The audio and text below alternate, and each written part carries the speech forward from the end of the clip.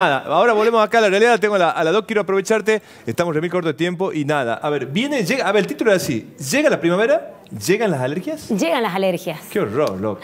Las personas que tenemos rinitis estacional, como le dicen, Sí. eh, la pasamos bastante mal. O sea, la primavera es una de las épocas más lindas del año, Sí. pero... Para quien no tiene el apacho en la puerta de su casa, Eh, insisto, Claro, ¿no? Vos sos alérgico... No, pero ¿sabes lo que es barrer las hojas del apacho? Y que venga la gente y te las pisotea así, porque siempre está el Encima les dañino que encanta. la va, va patinando en las hojas del apacho.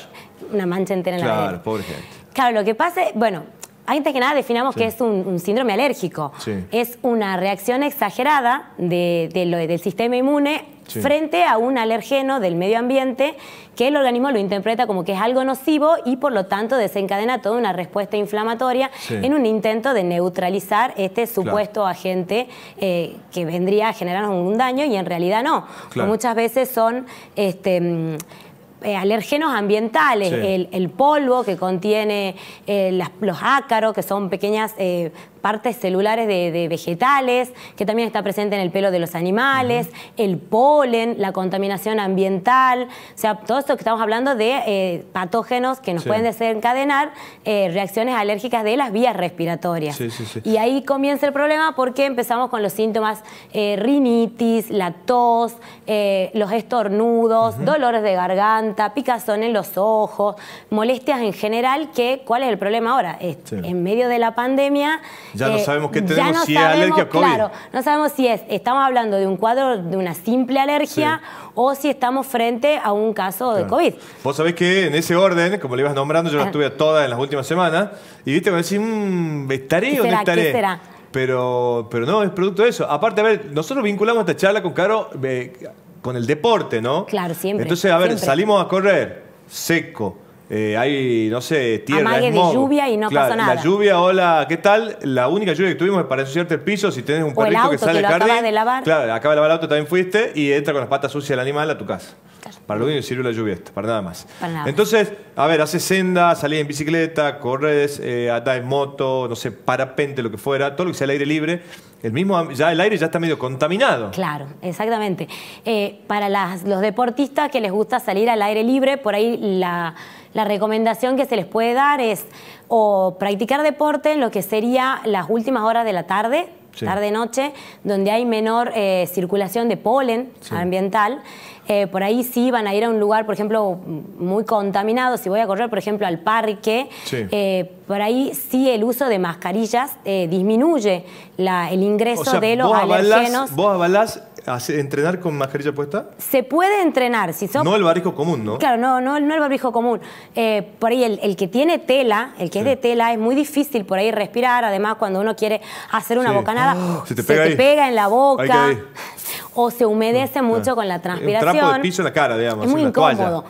Por ahí eh, sí hay, hay máscaras que son para, para, Entrenamiento. para entrenamiento o los barbijos que son los descartables Los que permiten, los quirúrgicos, que permiten por ahí eh, una mejor circulación, no se te pega, no se humedece y pueden, no, no es decir, recomendamos para todo, pero si sos una persona muy alérgica, muy atópica y vas a salir a correr, no sé, al Parque Avellaneda, que está en plena avenida, Sí. donde hay circulación de autos, va, viene, eh, mucha contaminación ambiental, entonces por ahí se lo puede si sos una persona muy alérgica, muy atópica y los síntomas después te, te complican Sí, la sí, vida sí, diaria.